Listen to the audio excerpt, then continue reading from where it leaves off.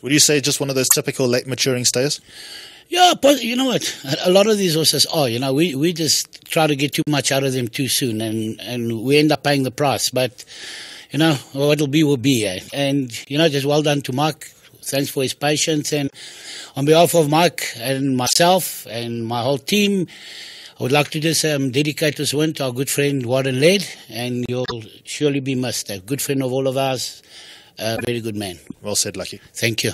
Lucky Larkers will enjoy the win and also echo those sentiments. Warren Leder, a sad loss to the game, had many horses, had a lot with Lucky, also had a few with Glen Kotzen in the past, a number of other trainers. So condolences to the entire Leder family. A sad loss is Warren.